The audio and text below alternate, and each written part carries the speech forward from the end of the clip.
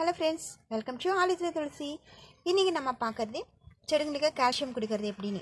அது எப்படின்னாக்கா நம்ம முட்டை வேக வச்சியோ இல்லை ஆம்லெட் போட்டால் அந்த தோல் எல்லாம் தூக்கி போடுறோம் இல்லையா அந்த ஓடு தூக்கி போடுறோம்.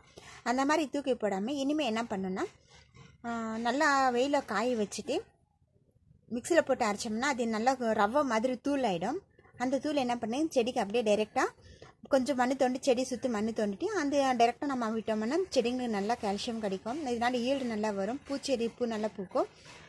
காய்கறி செடிங்களுக்கும் விடலாம். அதே போல் நம்ம முட்டை வேக வச்சு அந்த தண்ணி கீழே ஊற்றுறோம் இல்லைங்களா?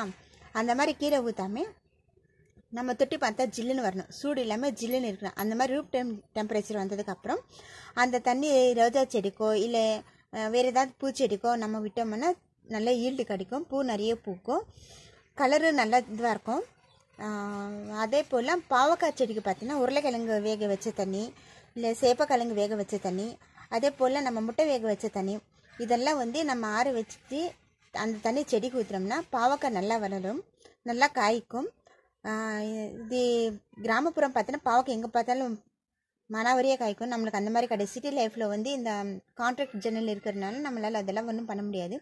இந்த மாதிரி நம்ம செடிங்களுக்கு தேவையான